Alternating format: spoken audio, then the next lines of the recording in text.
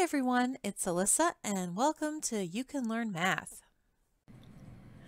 Today we're talking about inequalities on a number line. This is not linear inequalities, things like y is greater than 3x plus 4. Not that.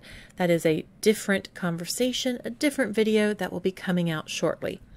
Now this is just inequalities on a number line. Well, so first things first, what is a number line? It's pretty straightforward. I bet you'll never guess. It's so hard to figure out. It's a line with numbers on it. I know, right? Mind blown. But yes, that's all it is. It's a line and it has numbers on it. Usually you'll have zero, you'll have some positives, you'll have some negatives, but honestly, this could be anywhere among the infinite amount of numbers. But this is our number line.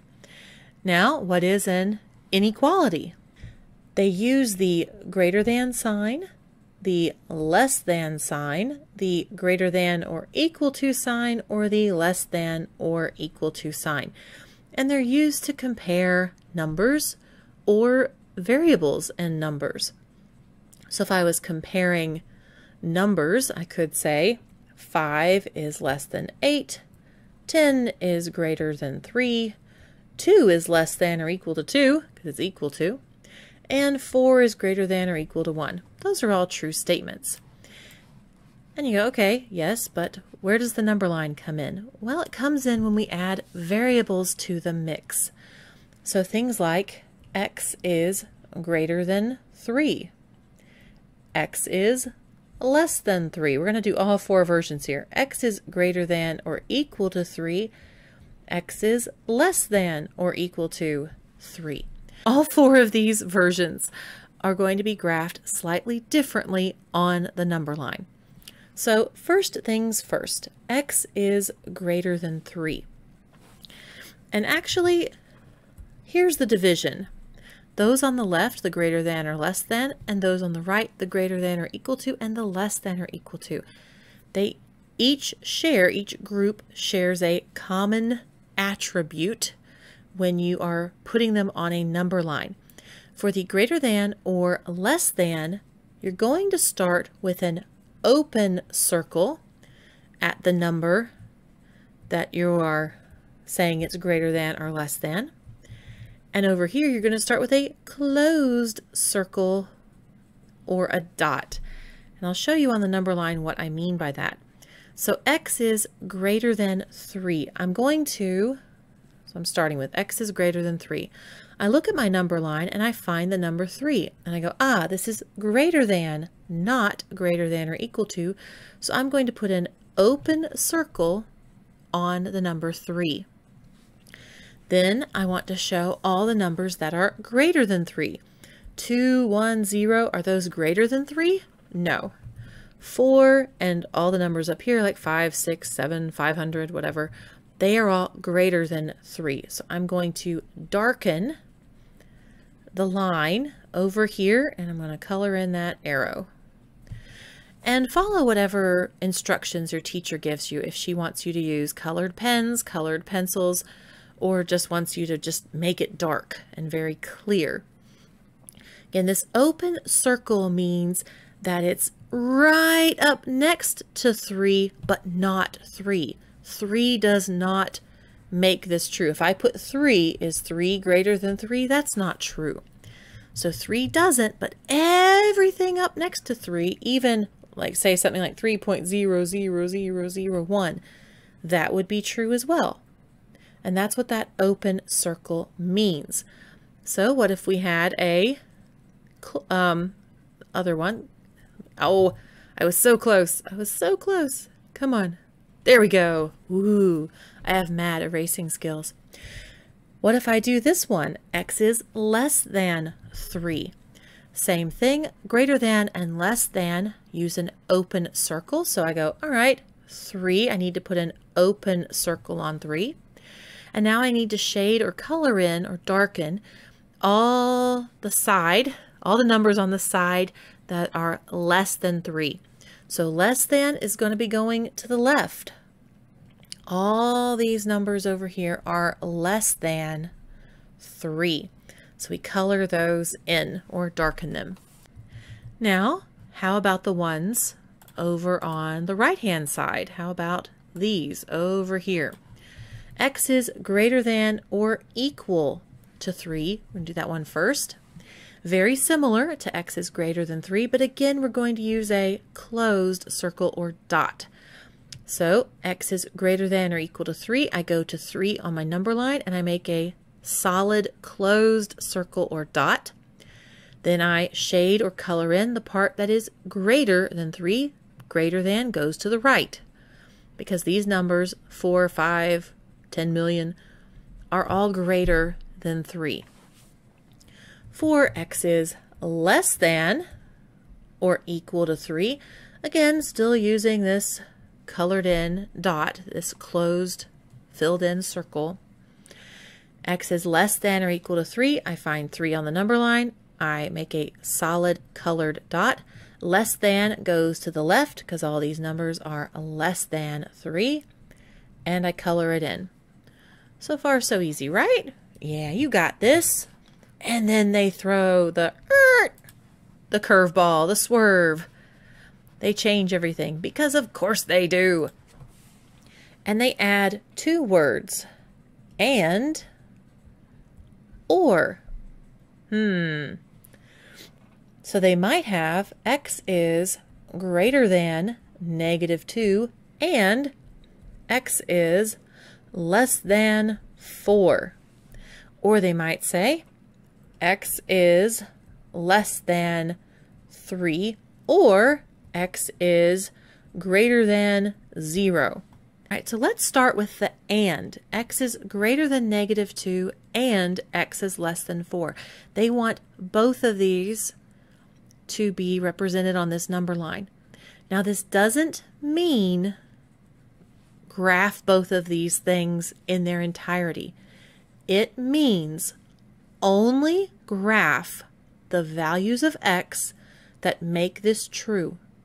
So x, x must be greater than negative 2 and less than 4. It has to be both of those things to be part of your answer on the number line. So you only want to be where they overlap, only where they overlap. This also can be written like this, where they put the x in between, saying it's greater than negative 2, but it's less than 4. Both of these expressions mean the exact same thing.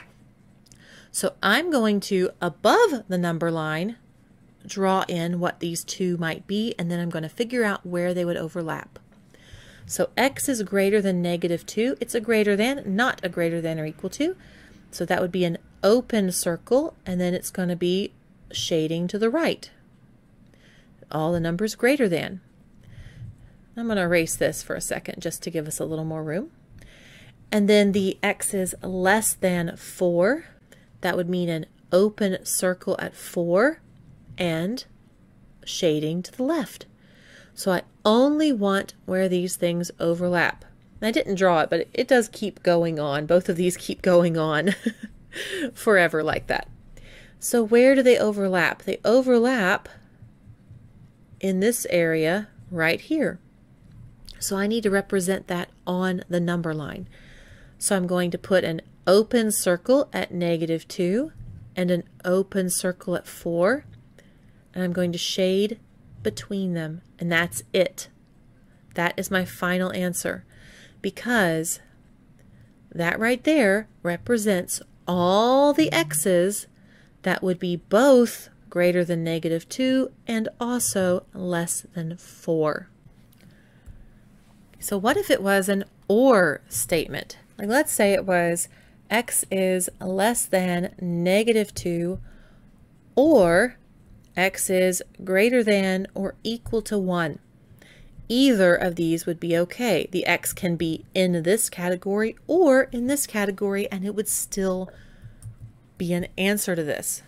So I'm just going to uh, draw both of them above here and then I'm going to make my number line. So x is less than negative 2. Less than means an open circle.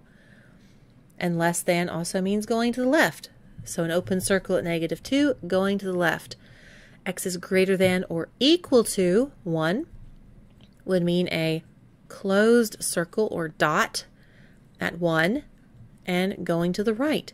And since it's an OR statement, I want both of these to be on my number line. So that's what I'm going to do. Open circle at negative 2, shading to the left, closed circle at 1, shading to the right. And that would be my final answer. Now there's a couple of little exceptions that they like to throw in there that are a little tricky. And I'm going to show you both of them. One of them would be x is greater than 1 and x is less than negative 2. Well, if I draw those out above my number line, x is greater than 1, that would be an open circle at 1 and shading to the right. x is less than negative 2 would be an open circle at negative 2 and shading to the left. Is there an overlap? No. There are no numbers that are greater than 1, but also and less than negative 2. So there's no solution, and you would color nothing on your number line. The other one, which is a little strange looking, would be an OR situation, and that would be x is, let's say, greater than negative 3, or x is less than or equal to 1. Well, we want the answers to both of them. We want to put all the possible values on this number line. So x is greater than negative 3 would be an open circle at negative 3 going to the right. x is less than or equal to 1 would be a closed circle or dot at 1 and going to the left. They overlap completely. They cover everything. there is nothing, there is no number that would not work here. Even negative 3. I know there's an open circle here for the negative 3, but negative 3 is less than or equal to 1, so it's included in this part of it. And since this is an OR, we want to graph everything that would fit either of these, so your final answer is going to be shading the whole number line because it's all real numbers fit this number line or make this answer. I hope you enjoyed that today. Um, if it was helpful, useful in any way, please like, share, subscribe. You know the drill. Thank you so much for stopping by. Hope you have a great day. See you later. Bye.